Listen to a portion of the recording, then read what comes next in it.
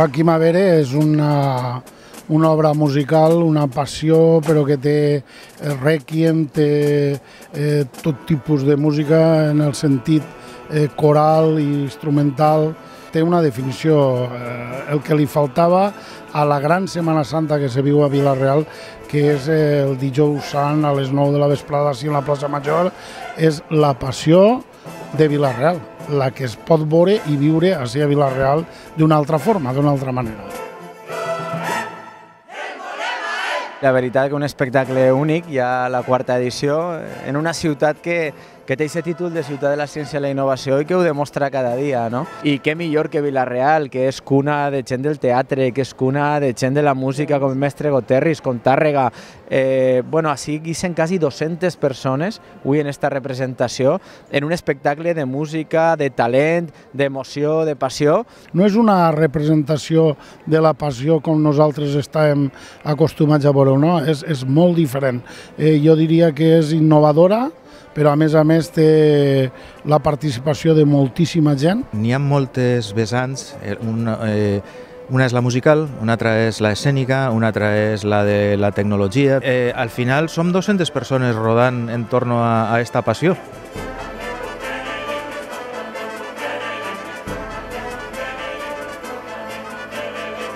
Alfredo ahir juga amb, un, amb unes tècniques de composició que són molt, molt directes a, a l'oient, tenim la responsabilitat d'intentar canalitzar tot allò que ell ha volgut composar a través dels instruments, no? I, i cada any és diferent. Pare, pare, les teues mans encomane el meu esperit.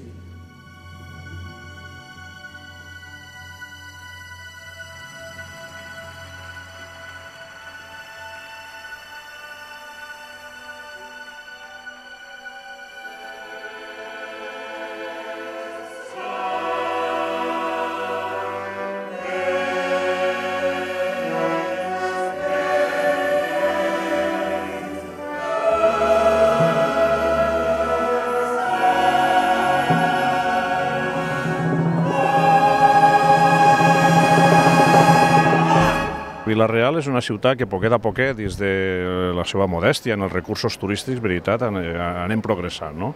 Precisament l'espectacle que anem a veure esta nit tenia per objectiu això, potenciar eh, turísticament Vilareal i fent-ho des d'una Setmana Santa jo crec que és única i la veritat que irrepetible. No?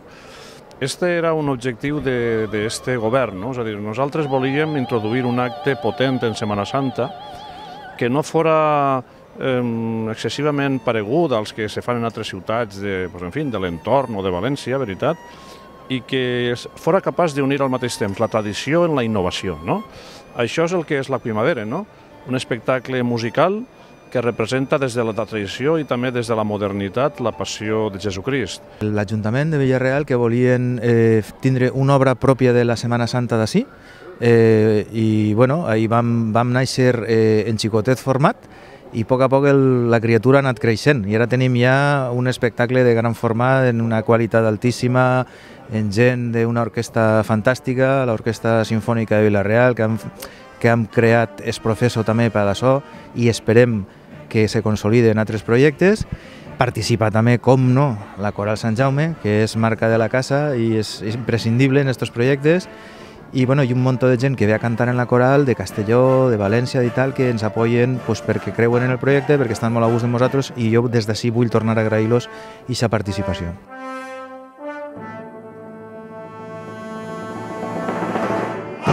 Moltíssima gent, eh, cofradies que dicen coses de la ciutat, eh, grups de música, bandes de música, eh, Alfredo Sanz, que és el seu director, que és el nostre funcionari, però a més el director de la Coral Sant Jaume, la Coral Sant Jaume en ple, i especialment m'agradaria fer un agraïment a Porcelanosa, al grup Porcelanosa, que se va implicar en este projecte des del primer moment, que sense ell seria impossible que ho pogueren fer i que ens patrocinen d'una manera important una obra d'estes que val pues, eh, prous diners i que gràcies a ells pues, se pot fer unir a un poble al voltant d'algo que ja s'ha convertit en algo molt nostre, però també de la província, no? algo que ens unís com a poble i aquestes qüestions pues, sempre són interessants.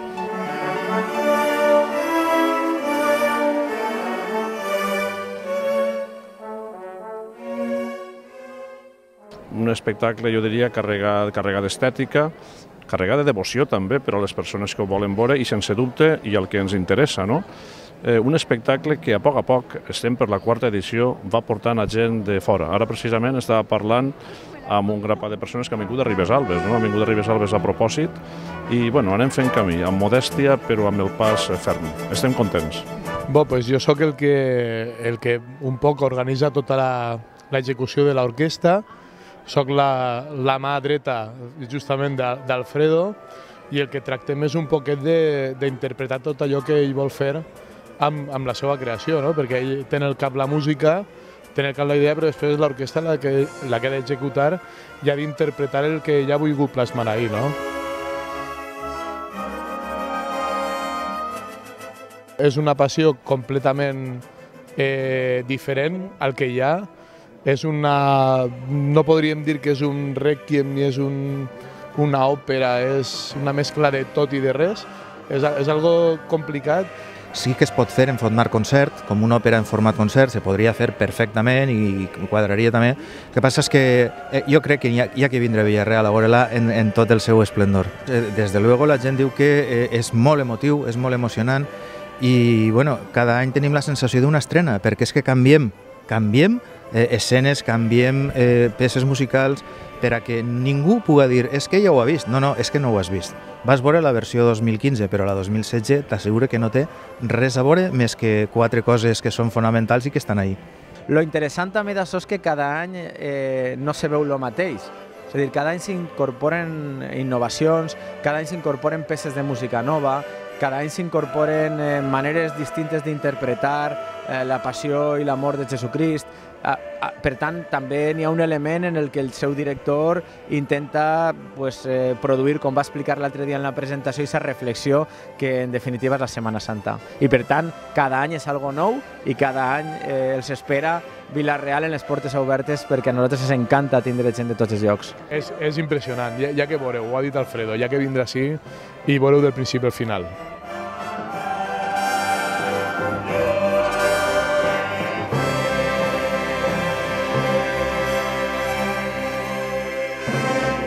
Podcast.